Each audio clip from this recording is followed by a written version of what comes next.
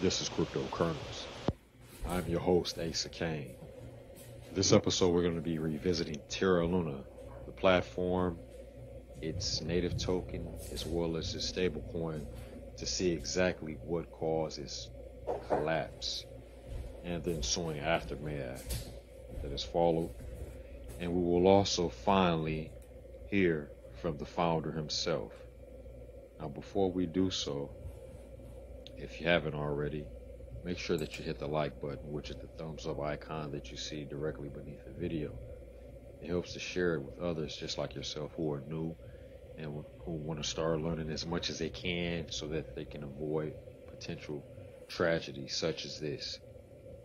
And also, if you haven't already, make sure you hit the subscribe button, which is our icon that you see in the lower right hand corner of your video. What it does for you it ensures that you don't miss out on any upcoming episodes. Now, this article here, first of all, before I get into any of that, I want to show you the website itself. I've done so before.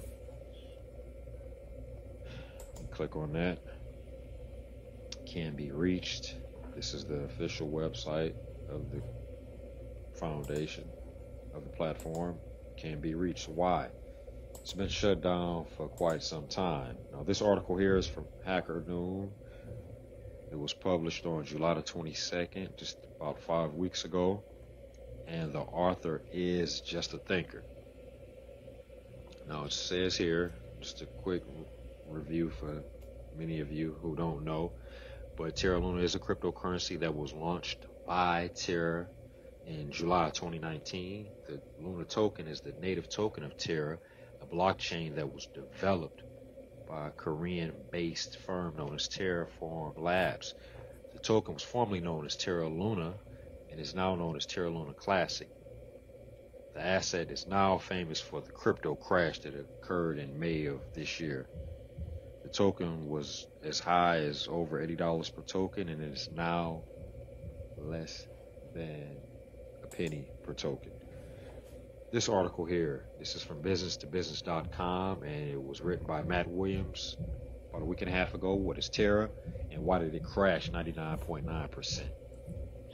The Terra Luna crypto token that crashed from $120 to 2 cents, 99% of which was within 48 hours of a Black Swan event on May the 11th through May 12th. Okay. Now this right here, skip over that skip over that. That's not what I wanted. Um, wait one second here. And this part here too, I'll link this in the description. It just basically goes over, it breaks down the blockchain, the token, and the stable coin. We've showed you all this before in our first video, which debuted in December 24th of last year. You can see it here. Now right here, both were created by Terraform Labs, founded in 2018 and located in Seoul, South Korea. At the center of the story is Terraform Labs CEO Do Kwon. The idea to create an algorithmic stablecoin where Luna could not be burnt in order to mint UST to stabilize it whenever it loses its one-to-one peg to the dollar, and vice versa. It's different to how other stablecoins like Tether and USDC function. For example, if UST hit 99 cents, a small amount of Luna would be burnt, and if it hit a dollar and one cents, a small amount of UST would be burnt. It worked until it didn't work. It has now emerged that Do Kwon has been behind a failed stablecoin project in the past called Basis Cash. In breaking news today on CoinDesk and Yahoo Finance, ex-Terra colleagues, Do Kwon was behind failed stablecoin experiment basis cash. Why UST lost its peg, no one knows, and Do Kwon hasn't given an explanation to investors or the public. One rumor is that this was co-coordinated attack in order to exploit Terra and cause a Bitcoin crash so that Wells will be able to buy in at a cheaper level. Why did Luna crash? The 30-year-old Do Kwon had something of a reputation on Twitter for arrogance. Some circles, some think that it may have been a personal attack as well. One theory was put forward by the founder of Cardano, who we, which we've covered here on this channel, Charles Hoskinson, although he later deleted the tweet. He tweeted that a large institution borrowed 100,000 Bitcoin from Gemini Exchange. They then exchanged a large amount of that Bitcoin for UST over the counter. With the Do Kwon at a discount, he agreed lowering the UST liquidity. That institution then allegedly dumped large amounts of both Bitcoin and UST on the market, causing a liquidation cascade of leveraged longs, slippage, and panic selling by investors, many of which sold their Luna holdings and unstaked their UST to sell it. So this was a domino effect, allegedly. The tweet alleges that Terra was a Ponzi scheme that didn't have enough Bitcoin reserves on hand to prevent that crash. None of these claims are verified, and Gemini denied issuing any such loan. However, market manipulation is common in all financial markets. Hoskinson, on in a later tweet, said that even if Gemini's tweet is accurate, someone did launch an attack on Terra. Who that it was is unknown for now, and social media is rife with speculation and different explanations. Will Luna recover? Luna did pump over 100x from lows. Still hasn't come close to making a recovery. The current Luna price still less than a penny. It may be impossible unless a large part of the hyper inflated circulating supply of Luna, now over 6.5 trillion Luna coins, is burnt. The Luna market cap would have to flip before it even reached 9 cents. So basically, for everyone that was involved prior to May the 11th, it's virtually impossible for them to recover their losses. And that's what this is stating here. This article here is from Coinpedia.com, and it states Do Kwon's crimes will be brought to light. Vows Anonymous, and it was written by Nadir Kapoor on June 27th, so a little over two months ago. Terra's demise shocked people all over the world. A few people issued significant threats to the project's developers, while others expressed severe loss and desire justice. Of course they do. South Korea continues to investigate the stunning collapse of the crypto project in great detail. Amid the turmoil, Kwon lives in freedom and even launched another initiative.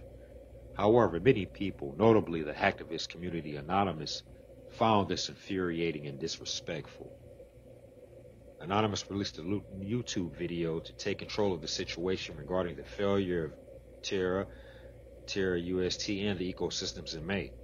The group has vowed to ensure that Do Kwon, Terra's designer and founder, is brought to justice as soon as appropriate. The group was confident that Kwon was also responsible several other atrocities, I should say.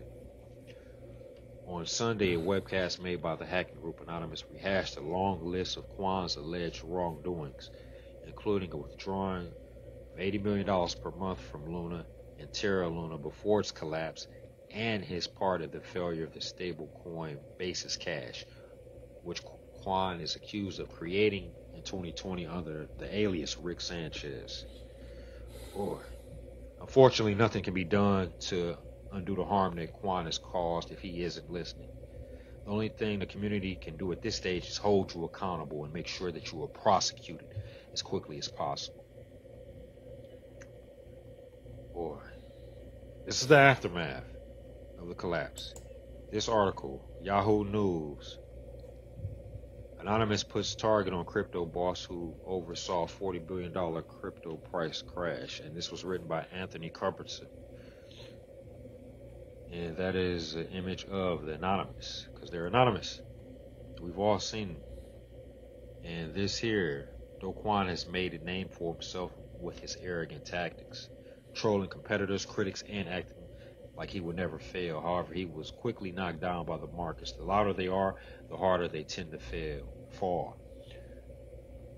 Anonymous accused Kwon of cashing out billions of dollars worth of investor funds, something he's publicly denied. Now here, I'm going to share part of an interview from Coinage that it was just released two weeks ago, where they went and flew to South Korea to meet with Do Kwon. Fair use they are the first ones to talk with him since this collapse. Let's listen in.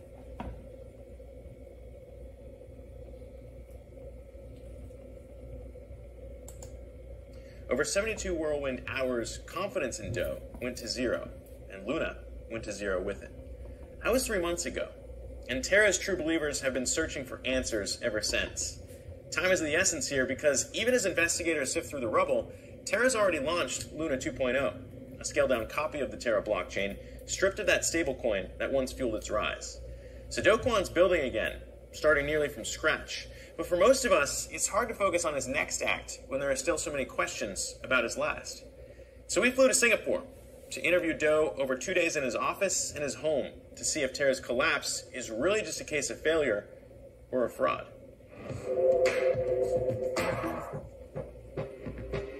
What do you point to as kind of the easiest defense of it's not fraud?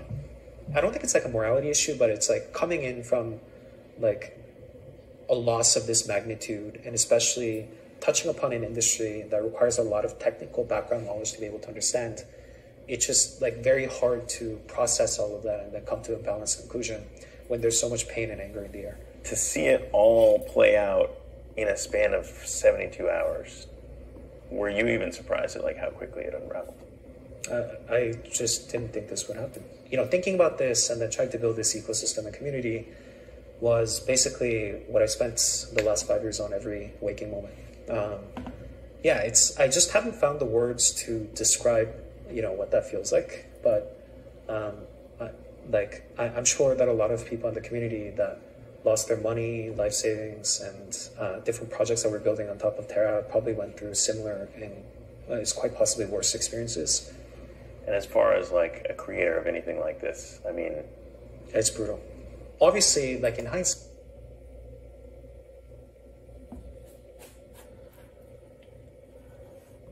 I paused it right there because he was getting ready to say hindsight is 2020, where everything, of course, is 2020 in hindsight in life. There's, I mean, that's not an answer. Watch all the video, make your own conclusions. The whole point is to always do your own research and never put your future in anyone else's hands, no matter who it is. This is a perfect example. I mean, he's not been convicted of anything, but everyone, he's the founder, so he knows something. It won't replace any losses, but by using our links to Coinbase and Crypto.com today, you can earn up to 20, I'm sorry, $65 in free crypto. Use that for gas money or snacks or whatever. I just can't. Many people, millions of people have lost money.